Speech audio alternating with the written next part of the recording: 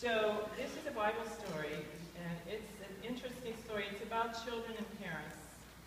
Do you have parents? Are you children? Yeah. Stories for you. Yay. And it's a very complicated story, so I'm going to have some help telling this story. So I want to introduce one of my friends here. This is Clara T. Muddles, a clown. And this is my other friend, and her name is Polka Doodle. and this is a Who's story ADD? about parents and children, so I need someone to be the daddy, so over here, Thomas is going to pretend he's the father of these two children. They're going to be the kids. All right? Now, sit here, Dad. His name is Isaac. This is a Bible story. Isaac. Isaac, and I'm going to be mother. My name's Rebecca, and I'm going to tell the story about my children.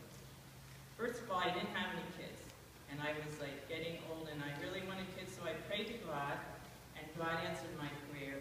Times two, I got twins. But even before they were born, my children were wrestling inside of me. It was like they were fighting even before they were born. Ouch! And then when they were born, the first one to come out was all red. So he was called Esau, which means red in Hebrew.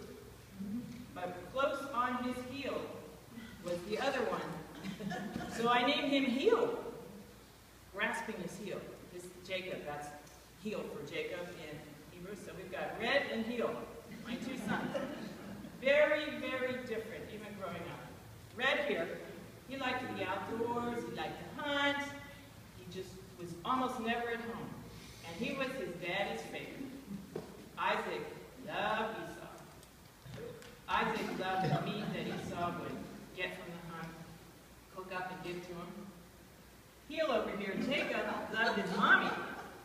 And mommy loved Jacob because Jacob was good around the house. Jacob would help me cook and clean and just take care of everything. Oh boy, I love Jacob. Well, one day, the parents weren't around, and Jacob and Esau, well actually Jacob was making food. And Esau came running in from the hunt, and he was really hungry, and he saw that food that Jacob made. He said, give me some of that food. And Jacob said, what will you give me? Have you ever done that? You know, your brother or sister would say, what are you going to give me? And Esau said, I don't know, what do you want? And Jacob said, well, you're the firstborn. That means you've got the birthright. Give me your birthright. And Isaac said, whoa. Well, you know, I'm going to die anyway, so what use is my birthright? If you don't give me some food, I'll die. So here, have my birthright. Give me that food. It wasn't even meat. It was lentil stew. So, okay. Then, later on, they kept fighting and wrestling and having arguments. And got really old. And he called Esau over to him and said, Esau, I'm getting old, and I can't see too well. And I don't know when I'm going to die, so I want to make sure I give you my blessing before I die.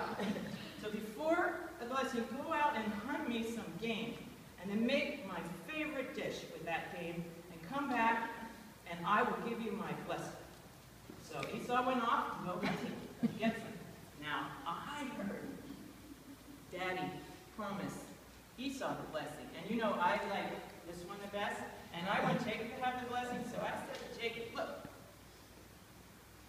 your brother's going to get the blessing, but I want to make sure you get it. So go get some goats and kill them and cook them up. And we'll make your father's favorite dish, and then you go in there and get the blessing.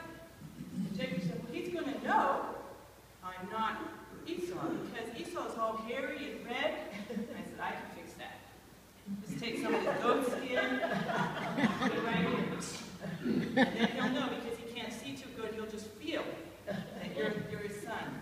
And then, then Jacob said, well, I don't smell like meat, you know? And I said, that's okay. I'll just put some grease on you and some Esau's clothes.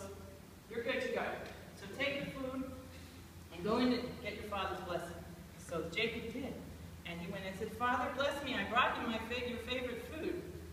And, uh, and Isaac said, well, you know, the voice is Jacob's. Are you sure you're Esau? yeah, I'm Esau. I really, really, really, truly am Esau. Feel, feel me. So, so Isaac felt how furry he was and says, let me smell you. Well, when you smell like Esau, and you feel like Esau, so okay, kneel down and I'm going to give you my blessing. So he gave Jacob the firstborn blessing, the best blessing you could ever have. He said, your brother and all your people in my household are going to kneel down to you. You're going to be number one because you got my blessing. So Jacob yes, ran away. Because just then Esau came in from the hunt with his dish that his father liked and went into the tent and said, Dad, just what you asked for. I'm here to get your blessing. And Isaac said, uh-oh, who are you? I said, well, I'm Esau. Smell me, feel me. I'm your son. And, and Jacob said, uh, your brother cheated. He got here first and took your blessing. And, and, and Esau was so sad, he wept. He said, please, please give me a blessing. Please, please. And father said, well, I can only really give one firstborn blessing, but you can have this blessing. It's really not as good. So Esau went really sad and really, really angry. So I'm thinking Esau was probably going to shoot his brother. So I said, look, David, you need to go. You need to go really far away. Go stay with your Uncle Lot, which he did. Now, 20 years later, Jacob wanted to come home, and he had all these children, so you can be the children. So Jacob, here's your children. He wanted to come back home and stay put. You are now Jacob's children, and he had wives and children. He was rich, and he wanted to go home, so he sent messengers to his brother Esau and said, I'm coming back. I'm going to send you all these presents so you'll forgive me. And the messenger said, well, we took the presents to Esau, but he's coming and he's got 400 armed men. He's coming with an army to meet him. And Jacob was pretty scared about that. So he kept his children on this side, and then he went over here, way apart, and he went to sleep by a river. If, if, if, if, if he gonna kill me? No, he's not good. You're safe because he's going to meet Esau first. So he was sleeping, and it was night. And a man came and wrestled with him all night long. They wrestled and they wrestled and they were evenly matched. And it, nobody could win, and it was almost daytime. So the man cheated and pulled out his hip, and Jacob had a limp after that. And but but Jacob kept grasping onto this person and said, let me go. And said, I'm not going to let you go unless you give me a blessing. Because Jacob thought blessings are a good thing. So he said, I want a blessing from you because you might be God's angel. No. So he said, okay, but first I'm going to give you a new name. I'm going to call you Israel, wrestle with God and people all the time. And here's your blessing. And then he let him go. And the man went away, or the angel, whatever it was, and Jacob limped away. Till the morning, and Esau came to meet him. And Jacob was still scared because, whoa, Esau had all this. So he ran towards him, so he was bowing. He's like, I'm really sorry, I'm really sorry, please forgive me. And Esau came, guess what Esau did? He ran to meet him, and he didn't kill him. They wept, and they hugged. And Es- Esau met all Jacob's children.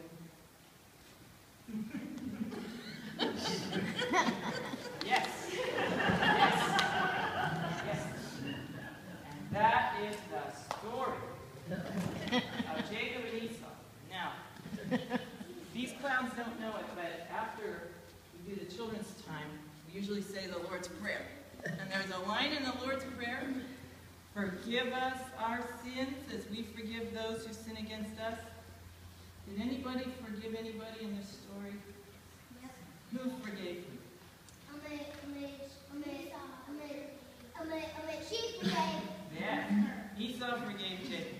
So they were answering Jesus' prayer way back before Jesus was even born. So let's hold hands and say the Lord's Prayer together. Want to join us, Owen?